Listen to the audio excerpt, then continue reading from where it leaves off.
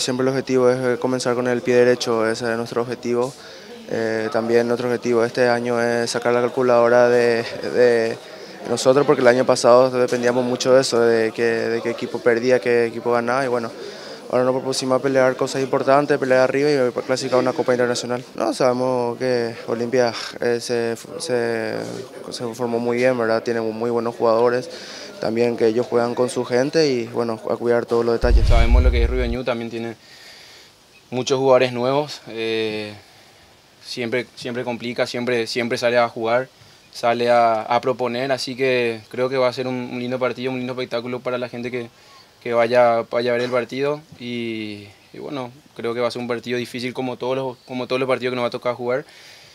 Pero para nosotros una final, yo creo que el domingo empieza ya eh, una final para nosotros y creo que es así como vamos a salir a afrontar cada partido.